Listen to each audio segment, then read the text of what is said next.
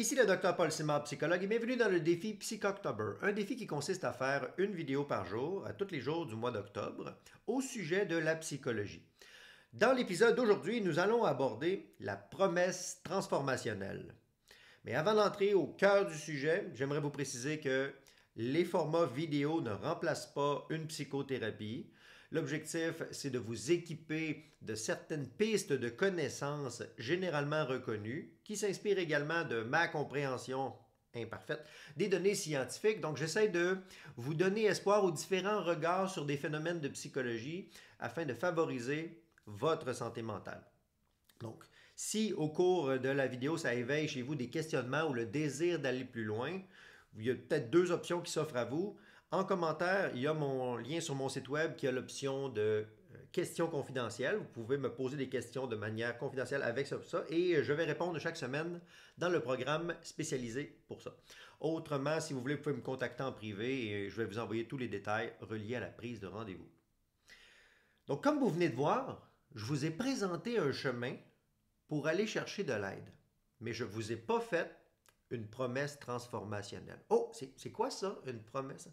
Ben, ça serait de vous dire, imaginez, si vous veniez me voir, là, vous êtes angoissé, vous sentez, vous n'êtes pas bien. OK, prenez le temps de visualiser un peu comment vous vous sentez pas bien à l'intérieur de vous, l'angoisse, vous êtes pris. Bon. imaginez maintenant le fait que vous allez consulter, vous venez me voir, puis là, je vous donne de l'aide, puis là, ah, vous vous sentez tellement bien après avoir obtenu cette aide-là. Mais, hey, dans le fond, vous refusez d'avoir accès à cette libération-là. Donc, on voit que dans le récit narratif, très imparfait, que je viens de vous improviser, c'est comme faire un petit peu une technique de tourner le couteau dans la plaie. Donc, on accentue de manière imaginaire la souffrance de la personne dans le récit. On lui fait miroiter le rêve de ce qui va se passer, de libération après, puis on l'associe avec le service et on redonne ça dans les mains de la personne. En disant, regarde, tu vois, tu me l'as, tu ressenti à l'intérieur de toi, comment est-ce que c'était difficile? Puis tu l'as ressenti à l'intérieur de toi, comment ça pourrait te libérer, cette chose-là? Mais si tu acquiers mon programme, cela va te transformer. Ça va te permettre d'émanciper ce qui était bloqué à l'intérieur de toi. Donc la promesse transformationnelle, c'est pas seulement une formation ou une offre de programme. Il y a la promesse d'une transformation. c'est comme si vous ne serez plus jamais les mêmes. Pourquoi on fait ça dans ce genre de stratégie marketing? Eh bien, c'est souvent associé avec les mécanismes de perception de valeur. La valeur d'une chose chez l'être humain, c'est rarement fondamental. Dès qu'on s'est occupé des besoins de base d'un être humain physiologique, l'attribution de la valeur d'un phénomène, ensuite, ça va être extrêmement contingenté ou conditionnel au contexte dans lequel il est présenté. Donc ça, ça veut dire que si on revient à l'exemple d'une consultation en psychologie, bien, il y a des gens qui vont aller consulter un psychologue, puis que pour eux, c'est sûr et certain que c'est rentable. Ils le voient comme un investissement parce que ça va convertir en santé mentale, qui vont se déployer encore mieux, être plus heureux, être plus habiles. Mais une personne qui n'a jamais consulté, qui n'a pas la culture familiale de la consultation psychologique, ou une personne qui n'a jamais entendu parler de ça, le, monde de la thérapie ou des psychologues, pourrait plus difficilement percevoir la valeur et même se dire Voyons, ça donne rien cette affaire-là, euh, c'est du pelletage de nuages.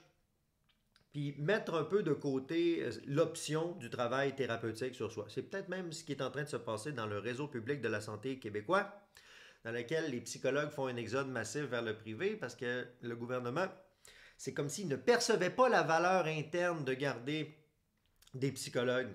Parce que là, l'exode est massif. Il n'y a pas de mécanisme de rétention. La perception de valeur, ça serait une invitation à ce que vous, vous réfléchissiez à ça dans votre vie. Qu'est-ce qui anime votre prise de décision? Sur quoi vous appuyez le fait de dire Ah oui, ah oui, ça, ça a de la valeur, puis ça, ça n'en a pas. Bien sûr, quand il est question de réflexion sur la valeur, il va avoir l'enjeu financier de base à respecter également. C'est pour ça que nous, les psychologues ou les professionnels de la santé, on est obligés d'établir avec nos clients un consentement libre et éclairé. Ça veut dire qu'il faut qu'on explique aux futurs clients Qu'est-ce qui fait qu'on a ce tarif-là? Qu'est-ce qui va se passer s'il y a une politique d'annulation? Bref, l'idée, c'est de ne pas surprendre le patient ou le futur patient avec des, clauses financières en disant Ben oui, mais je ne le savais pas. Sauf que là, quand on commence à, à faire ce genre de procédure-là, nous, les professionnels de la santé, euh, moi, c'est somme toute euh, très protocolaire, hein, la prise du premier rendez-vous avec moi. J'envoie un courriel avec tous les détails sur mon cadre de pratique, des questions à me répondre, puis les gens, ils prennent connaissance. J'ai tout synthétisé ça dans un document, les conditions de service. Mais il y a des gens qui vont dire Ah non, c'est trop compliqué, moi je veux juste un rendez-vous. C'est correct. Probablement que je ne suis pas la bonne personne pour ces gens-là. Mais en même temps, il y aurait peut-être certaines personnes qui auraient gagné à prendre le temps de se déposer pour bien comprendre ce dans quoi ils s'engagent. Parce qu'avant que j'aie ces mécanismes-là, moi, je voyais des gens qui... J'étais de bonne foi, début de pratique, là, quand j'étais un jeune petit, puis les gens venaient consulter. Puis là, je disais, ben là, il y a une politique d'annulation. Puis les gens, ben voyons, mais tu me l'as jamais dit. Ben oui, je vous l'ai dit, genre à la première rencontre. Je m'en souviens pas. Ah, OK.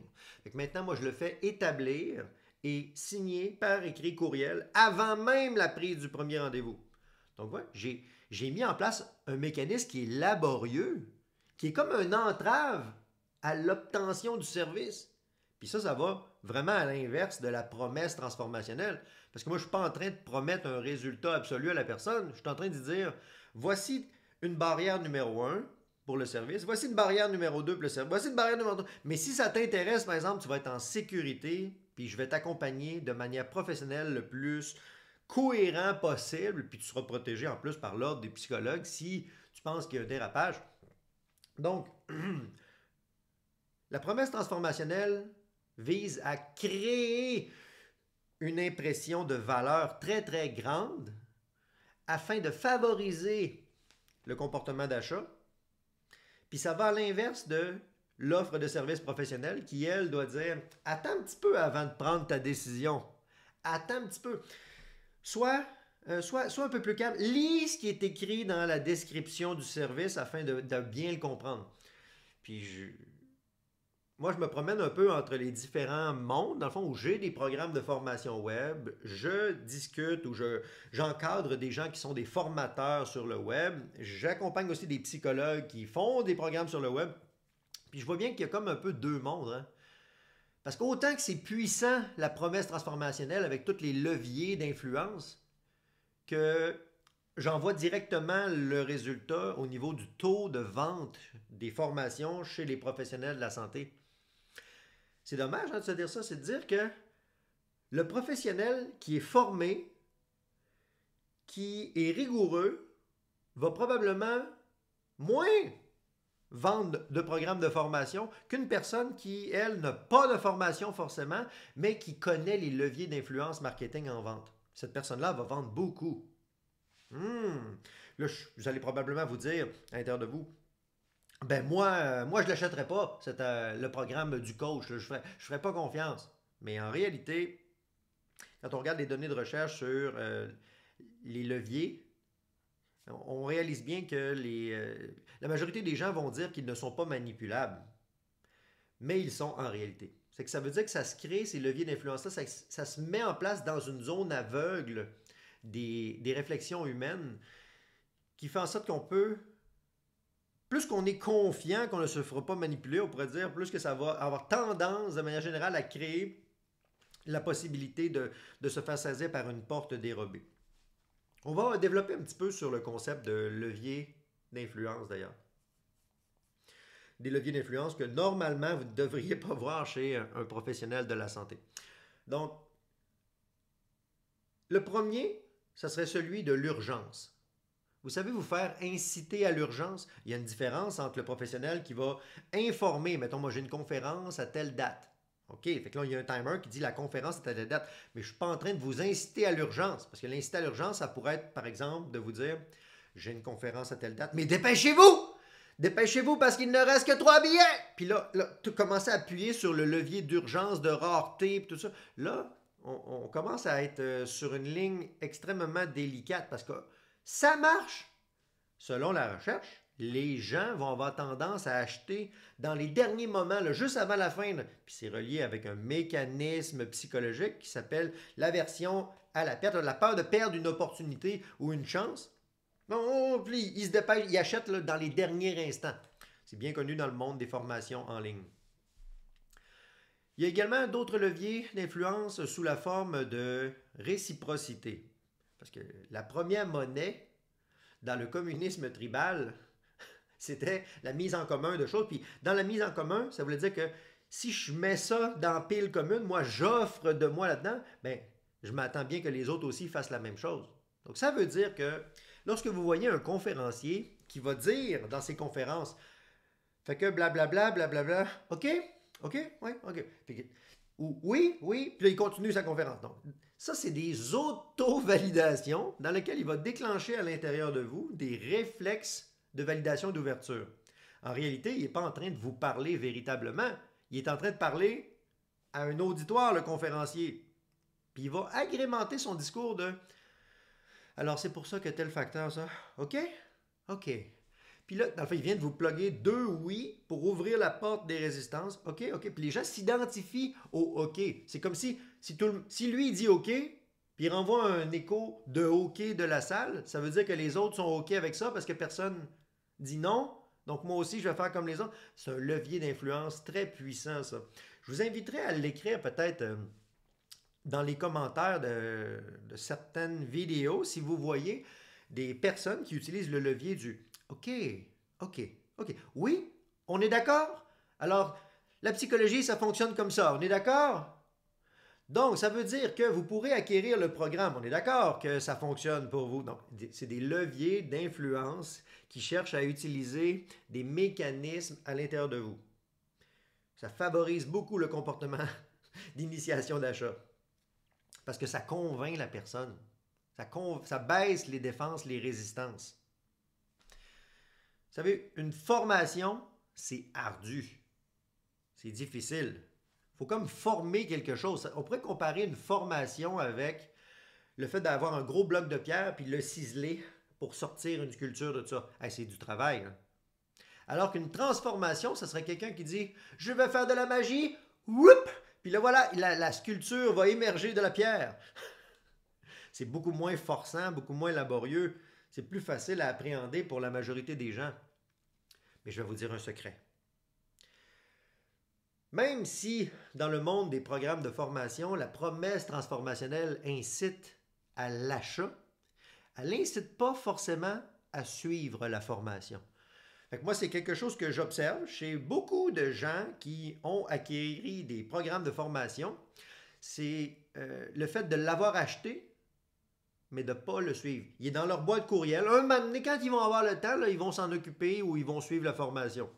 Puis il y a des gens qui vont tellement être intéressés par ces sujets-là qu'ils vont accumuler 4, 5, 6 formations. Puis là, ils, savent qu'un jour, ils pourront devenir bons à la bourse ou devenir bons dans tel domaine d'écriture ou devenir... Ils l'ont, ils l'ont à quelque part. Ben ça, ça rejoint un petit peu les mécanismes d'accumulation de ressources qui est naturellement présent dans les réflexes de survie. Un petit peu comme l'écureuil qui va accumuler les réserves alimentaires cachées quelque part, mais il se souvient même plus c'est où qu'il les a serrées. On le voit le même phénomène chez les gens qui vont acheter des livres à répétition, des livres de développement personnel, de croissance personnelle, puis ou des biographies, parce qu'ils aiment la personne qu'ils ont vue, qui écrit la biographie, mais ils liront jamais le livre. Vous, est-ce que ça vous arrive? J'aimerais ça savoir en commentaire. Est-ce que vous avez des formations que vous avez achetées que vous n'avez pas suivi? Est-ce que vous avez acheté des livres que vous avez achetés, vous avez en possession, ils sont serrés dans la bibliothèque, puis vous les avez jamais lus? Hmm. Qu'est-ce qui a fait que vous avez initié ce comportement? Vous vouliez acquérir quelque chose? Ben, c'est peut-être acquérir la promesse ou l'illusion de se transformer en s'imprégnant de la formation ou du contexte, ça devrait agir sur moi. Puis juste le fait que je l'ai acheté, ben, ça me donne l'impression que je suis déjà un peu plus proche. Puis là, je, vais faire un petit lien avec les mécanismes de croyance qui habitent le fonctionnement humain via l'intuition. Et d'une certaine manière, acheter une formation, acheter un livre, ça me semble ressembler à une offrande. Vous savez, le fait de faire des offrandes religieuses, culturelles, payer la dîme, ou c'était une contribution une association à un phénomène que vous, que vous croyez qu'il y a de la valeur. Vous n'avez pas forcément besoin de faire les actions santé vous-même. Vous avez juste besoin de vous affilier à cette chose-là. Je pense que c'est un mécanisme profond, ça, dans l'être humain, le désir d'affiliation. Puis s'affilier de manière symbolique aux autres, ça fait comme remplir un, une espèce de besoin ou un, vide à l'intérieur de l'être humain qui semble combler si j'ai fait ma part. Parce que j'ai au moins acquis telle affaire. J'ai au moins fait un dépôt à J'ai donné un petit peu à cette œuvre, ou j'ai donné à une personne qui, qui était euh, dans la circulation. Donc, le fait d'offrir offre quelque chose en retour, le fait que je me sens proche d'une valeur spécifique. C'est ce qu'on appelle en, philosophie la doxalité. C'est les aspects doxatifs, ça veut dire l'aspect de, croyance. on n'a qu'à penser à la croyance collective la plus répandue. Quelle est-elle la croyance? C'est la monnaie. On s'est tout entendu sur le plan collectif d'une société que ce billet-là, il vaut, mettons, 20 dollars. Mais fondamentalement, ça n'a pas 20 c'est une valeur de 20 dollars le billet. C'est la croyance collective qu'on a attribuée au système bancaire de notre nation, de notre pays, qui attribue dessus. Mais prenez un 20 dollars euh, canadien, allez dans le fond de la jungle en Inde, puis euh, demandez aux personnes d'échanger la nourriture contre le 20 dollars canadien. Probablement qu'ils vont, ils vont regarder le 20 dollars canadien, ils vont peut-être dire hmm, non, on prend pas ça ici. Là. oh, oh, alors que ça vous permettait de vous alimenter dans une société spécifique, ça ne vaut plus rien à l'autre. On rejoint à nouveau le concept de valeur relative et de perception de valeur. La personne, dans l'histoire que je vous raconte en Inde, si elle ne perçoit pas la valeur du 20 canadien, elle ne va pas échanger du matériel contre. Ben, c'est la même chose ici en Occident ou dans la culture franco-canadienne, j'ai beaucoup de Canadiens qui m'écoutent ou de Québécois, mais dans la culture francophone mondiale, qui, s'ils ne perçoivent pas la valeur, comme tous les êtres humains, ne vont pas acquérir une formation. Moi, je suis très réticent à utiliser beaucoup de leviers d'influence parce que j'ai l'impression que c'est comme un peu contrecarrer le consentement de la personne. Puis moi, je ne veux pas forcer l'adhésion des gens à mes programmes de formation parce que même si moi, je perçois que ça a de la valeur, puis j'en ai mis des dizaines d'heures, voire des centaines d'heures d'efforts là-dedans pour construire mes programmes, puis là, ça dort. Il n'y a personne qui va l'acheter. Ah! Fait qu'il faut que je fasse une espèce de travail de création de valeur pour la mettre de manière visible, mais pas trop. Et où la ligne, dans le fond, entre faire une offre de formation et une promesse transformationnelle? Ben, étant donné que c'est un continuum, c'est pas si évident de tracer la ligne. C'est pour ça que j'essaie de vous éduquer sur, sur ces grands leviers-là. Il y a également le levier de sympathie hein, qui crée de l'ouverture. Voulez-vous faire un exemple de levier de sympathie? Wi-Fi, viens ici. On va voir mon petit assistant. D'habitude, ça provoque toujours un petit levier de sympathie. Viens par ici. Il s'en vient, il, était il surveillait l'air. Alors, le levier de sympathie, ce que ça va faire, c'est que ça va générer normalement en vous un petit côté de Oh Regardez comme il est beau. Hein? Il est beau, il est gentil. Il est là pour nous. Ça vous tenterait pas de mettre un petit clic j'aime sur la vidéo? Ben oui, parce que regardez, je vous ai donné plein de contenu gratuit. Donc, ce serait la moindre des choses, hein, si vous vouliez soutenir Petit Wi-Fi Doux pour que mon petit Wi-Fi ici, il puisse avoir des croquettes. Alors, merci Wi-Fi Doux. Tu es libre maintenant. Les gens, ils t'ont donné des clics j'aime. Oui, les gens t'ont donné beaucoup de clics j'aime. Qu'est-ce qui vient de se passer? ben, j'ai combiné deux grands leviers. Le levier de sympathie, avec un petit ton de voix gentil, avec un petit chien mignon. En tout cas, moi, je le trouvais mignon. Sûrement vous aussi. Puis la réciprocité. C'est dans le fond, je vous ai dit, regardez, je vous offre de la valeur. Donc, j'essaie de vous montrer la perception de valeur. Vous rappelez ça. J'utilise la combinaison avec la sympathie, l'ouverture avec le petit chien mignon. Puis, je vous demande en échange, je vous demande pas grand-chose en échange, juste un petit clic j'aime ou un partage, un commentaire. Oh, oh, oh, levier de réciprocité. Puis quand on déclenche ce levier de réciprocité-là, ça va créer une relation de confiance. Puis plus que la relation de confiance va se bâtir, ça va être peut-être beaucoup de réciprocité gratuite via le web. Après ça, ça va peut-être être un petit peu de réciprocité dans le contenu payant à petit prix. Mon programme question confidentielle. Oh! Ensuite, mon autre gros programme pré-thérapie. Oh! Ensuite, le gros kit, puis des consultations. Oh! On est influençable. Puis s'il n'y avait aucun levier d'influence, il n'y aurait aucune offre de service. Rappelez-vous ce que je vous ai dit? Il n'y a pas de valeur fondamentale dans les besoins ou les offres de services qui dépassent les besoins fondamentaux. Ce sont des valeurs relatives, contextuelles, symboliques, priorisées en fonction de la perception de valeur. si vous ne le savez pas, qu'il y a des gens qui utilisent ces leviers-là de sympathie, de réciprocité, d'urgence, qui utilisent des leviers de contraste également, euh, ben, c'est sûr que ça va vous manipuler. Il y a des études qui ont été faites sur les machines distributrices d'ailleurs, qui démontrent que la meilleure manière de vendre beaucoup de produits dans les machines distributrices, ce n'est pas forcément de mettre une machine distributrice. C'est d'en mettre trois, quatre, une à côté de l'autre. Premièrement, ça offre du choix, des alternatives ça attire l'attention.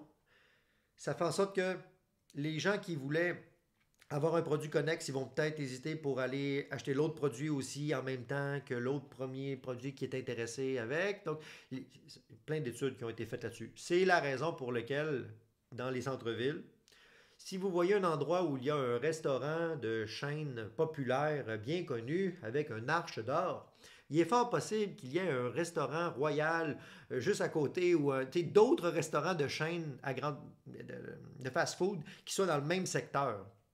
C'est que le fait de combiner différentes offres de services favorise l'augmentation du panier d'achat moyen du consommateur. On le voit également, ce levier d'influence-là, avec sur les pages d'achat. Mettons dans la promesse transformationnelle, vous allez sur la page d'achat, puis là, vous voyez, il y a trois options il y a l'option méga super cher power, puis là que vous dites non, non, moi c'est sûr que je prends, j'achète pas ça, c'est bien trop cher. La deuxième option, beaucoup plus modérée, que vous êtes ouais, ouais, c'est quand même pas pire.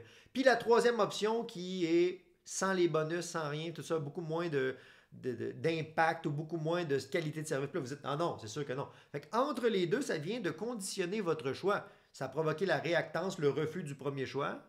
Ça a créé un effet de tempérance où le deuxième choix il est beaucoup plus acceptable que le premier choix qui était bien trop élevé. Puis le troisième choix, ben non, non, c'est pas ça que je cherche du tout. Là, fait que dans le fond, qu'est-ce que la personne va faire? Elle va tendre à favoriser l'adoption du choix dans le milieu. C'est incroyable. Ça veut dire que juste par l'ordre de présentation des offres de services, vous pourriez être influençable. Vous pourriez être saisi par la promesse d'être transformé alors que vous avez passé par un tunnel de conversion avec plusieurs étapes. Donc là, ici, je vous décris des étapes, des mécanismes de marketing. Je ne suis pas en train de dire que ce n'est pas correct. Parce qu'il y a parfois des offres de services qui sont extrêmement bonnes, puis qui utilisent l'apparence euh, des leviers d'influence et de la promesse transformationnelle pour véhiculer, pour arriver à rejoindre la population. Mais moi, pour ma part, j'essaye de pas trop en utiliser. Juste peut-être un ou deux à la fois. Et non pas, je veux pas me mettre le paquet sur tout parce que ça me semblerait bypasser euh, le consentement libre et éclairé. Fait ça, ça veut dire que je pourrais aider plus de personnes si j'étais plus manipulateur. Oh, oh! Mais je refuse d'être plus manipulateur pour pouvoir rester plus groundé dans la santé. Puis je pense que c'est une partie de ce que les gens s'attendent lorsqu'ils vont consulter un professionnel de la santé. Ils vont pas forcément dans un lieu spectaculaire avec des offres de services flamboyantes. Ils veulent peut-être plutôt aller vers l'intime, le sécuritaire, le particulier Mais la raison pour laquelle j'ai choisi le thème d'aujourd'hui, c'est parce que c'est beaucoup plus accessible pour la majorité de la population. Voir les gros messages de marketing transformationnel, puis wow! Puis d'être déçu par cette promesse-là, même si autant ça vous a enflammé, puis que ça vous a emporté, puis vous avez perçu de la valeur beaucoup plus facilement en voyant la promesse transformationnelle. Moi, je crois que vous auriez intérêt juste à comprendre ces mécanismes-là pour protéger votre esprit. Avec la venue des intelligences artificielles, puis les métadonnées qui personnalisent, les marketing, les techniques d'impact, le retargeting, les deepfakes, je pense que c'est très important que euh, les êtres humains développent des mécanismes de, de, scepticisme. Donc, il y a une différence entre être sceptique et être complotiste. Dans les deux cas, il est question d'un doute. Chez le complotiste, on pourrait appeler ça le doute systématique. Hier, je me suis brossé les dents. Je suis pas sûr, as-tu des preuves de ça? Ça, c'est le doute systématique qui peut donner lieu à des dérives, à des craintes délirantes qui excessives. Je dis pas que tous les gens complotistes sont en train de faire du délire. C'est pas ça que je suis en train de dire. Déformez pas ce que je suis en train de dire. J'ai dit ça pourrait glisser jusque-là le doute systématique. Alors que dans le scepticisme, c'est la capacité du doute raisonnable. C'est de dire Ah oui, tu me, dis que tu t'es brossé les dents hier, ben ok, je n'ai pas de raison de douter de ça, puis ce n'est même pas si important que ça pour moi. Avec la capacité du doute raisonnable, ça, ça pourrait être utilisé ici face aux promesses transformationnelles en reconnaissant le spectacle. C'est-à-dire, OK, est-ce que présentement il y a de la musique d'ambiance qui essaie de faire animer les gens? Est-ce qu'il y a une incitation au mouvement de foule? Est-ce qu'il y a un jingle associatif typique pour faire que les gens ont un esprit de corps ensemble? On essaie d'effacer l'individualité. Est-ce qu'il y a des incitations dans la conférence à aller voir d'autres gens que vous ne connaissez pas pour briser vos alliances sécuritaires? Est-ce qu'on vous a fait des visualisations de choses qui vous torturent dans votre vie pour vous faire miroiter ensuite comment vous allez vous sentir bien après la transformation? Donc, juste reconnaître ces leviers-là de spectacle général, selon moi, ça peut protéger votre esprit. Le professionnel de la santé, il n'utilisera pas ces techniques-là. Il ne vous déstabilisera pas, vous manipulera pas pour que vous ayez les services. Au contraire, mais, c'est paradoxal, hein, ça veut dire que je vois une personne souffrir devant moi, j'y propose des exercices, elle les fait pas, puis je peux pas la forcer à les faire. Puis même, au même moment, la même personne, je la vois acquérir une formation transformationnelle sur quelque chose qu'elle ne va probablement pas faire et pour lequel elle va dépenser beaucoup d'argent pour se maintenir dans le problème. Moi, je trouve ça un peu... Euh, triste, puis en même temps, c'est là que le professionnel doit respecter la frontière de la personne. Tu sais, la capacité de liberté, c'est particulier, hein, ce concept-là. Les gens aiment une liberté relative. Ils veulent sentir qu'ils ont le choix, mais ils ne veulent pas forcément être totalement libres. des fois, il y a des gens qui vont préférer avoir le choix et faire des choses inefficaces qui n'atteignent pas les objectifs, voire se maintenir dans le problème, parce qu'au moins ils ont l'impression que c'est eux autres qui décident de leur vie. c'est un, drôle de paradoxe se promener entre l'illusion de la promesse et la prise de responsabilité éclairée dans le, quotidien. Donc sur ces paroles qui se voulaient à la fois éparpillées et cohérentes, vous me direz si vous avez euh, perçu de la valeur dans la vidéo. Et si vous avez perçu de la valeur, on va utiliser le levier de réciprocité encore ici. Vous pourrez mettre un clic j'aime et un commentaire si vous avez perçu de la valeur ici. Puis si vous voulez me rejoindre en privé, tous les liens sont dans la description. Mais euh, je vous rappelle que c'est une invitation à la prudence pour vous équiper de balises généralement reconnues. Puis si vous voulez aller plus loin, lisez le livre euh, Influence et manipulation de Robert Caldini. Sur ça, c'était le docteur Paul Simard, psychologue, et on se revoit demain pour la suite du défi Psychoctober.